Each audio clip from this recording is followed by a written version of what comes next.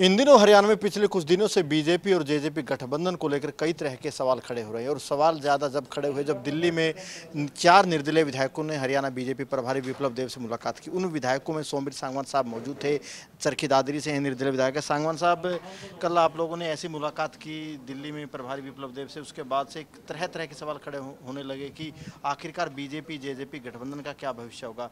ऐसी क्या बात आप प्रभारी साहब से करा ऐसा है कि जिस प्रकार पाँच सात दिन से पूरे हरियाणा प्रदेश के अंदर जो जेजेपी और बीजेपी के पदाधिकारियों को विरोधाभास जो बयान आ रहे थे, और उसके बाद ये मुलाकात हुई तो उसमें आग के अंदर घी का काम किया। एक माहौल बन गया भी कहीं ऐसा है तो किंतु परंतु जो शक शंका जो हो जाती है कि भाई माहौल गर्म है और निर्दलीय बुलाएँ तो कोई ना कोई दाल में काला है। तो इसलिए उसका स्वाभाविक समाज के अंदर एक मैसेज आना। लेकिन मैं कहता हूँ कि इस मीटिंग के अंदर कोई ऐसी कोई बात नहीं थी कि गठबंधन तोड़ दिया जाए जोड़ दिया जाए। हमने सभी विधायकों ने पंद्रह पंद्रह मिनट वन टू वन मुलाकात की है आप भी पंद्रह बीस मिनट वन टू वन मिले हैं। तो आपकी तरफ़ से क्या सुझाव विप्लव देव को दिया गया गठबंधन को लेकर सरकार को लेकर? मैंने तो अपनी तरफ़ से सुझाव दिया कि सरकार को तुरंत प्रभाव से इस गठबंधन से बाहर होना चाहिए जेजेपी को अलग करना चाहिए। इसका इनकी खिलाफत का खामियाजा पार्टी या सरकार को नहीं भुगतना चाहिए। जेजेपी की ऐसी क्या खिलाफत है जिसका खामियाजा बीजेपी को भुगतना पड़ सकता है जो आप कह रहे हैं? ऐसा है कि लोगों ने बीजेपी के खिलाफ उनको वोट दिया था उन्हीं के वोट से एमएलए बने थे और फिर सरकार का समर्थन करने के बाद उनसे लोगों में नाराज़गी है कि हमारे साथ धोखा हो गया और हरियाणा का आदमी धोखे को बर्दाश्त नहीं कर सकता इसलिए उन्होंने जो है वो खिलाफत है। अगर गठबंधन तोड़ दिया जाता है अगर मैं इसलिए लगा रहा हूँ क्योंकि भविष्य की बात है तब जो बीजेपी का जो आप कह रहे हैं कि नुकसान है बीजेपी को उसका फ़ायदा होगा गठबंधन तोड़ने का? मैं ये कहता हूँ गठबंधन आज टूट जाए तो आज ये पच्चीस परसेंट लोग साथ जुड़ेंगे बीजेपी के। उसका फ़ायदा मिलेगा।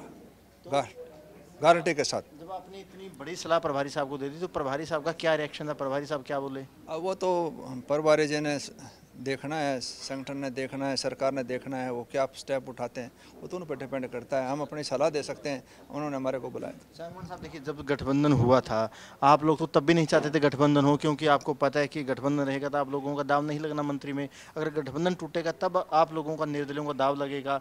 तो आप लोग मंत्री बनने के लिए तो ये जो सरकार चल रही है। ये साढ़े तीन साल से सरकार चल रही है। अब तक अब तक मंत्री नहीं बने या नहीं बनाए तो इसका आपने ये आइडिया लगा लिया कि मंत्री बनने के लिए। ये नहीं है ये समय की ज़रूरत है। सरकार और संगठन का नुकसान है। तो वास्तविकता बताना हमारा धर्म है, कर्तव्य है। वो सरकार ने देखना है। ये तो आपकी राय है। कांडा साहब भी कह रहे कि गठबंधन टूटना चाहिए। गोलन साहब, गोंदर साहब, राकेश दौलताबाद, रावत साहब, रंजीत चौटाला, बाकी उनका क्या मानना है? कभी कभार वो फिकोड़ बात हुई हो चाय खाते पीते बात हुई हो। जितने ज़्यादातर जो निर्दलीय विधायक हैं सारे बीजेपी कैडर के ही हैं। उनके वही विचारधारा है कोई अलग अलग तो हो नहीं सकती। तो तो बाकी विधायकों की भी दिली इच्छा की गठबंधन रहना चाहिए। ऐसा है मैं एक बात ही कह सकता हूँ मेरा अगर ये शो अब तक नहीं करा कि हम कोई स्वार्थ कारण सरकार का समर्थन कर रहे हैं कोई मंत्री पद के लिए कर रहे हैं ऐसा कुछ नहीं है। सिर्फ़ एक ही दे था कि बगैर किसी लाग लपेट के शुरुआत से लेकर अब तक भी वही टारगेट पे है कि हमने तो अपने इलाके का विकास चाहिए जनता की सेवा चाहिए।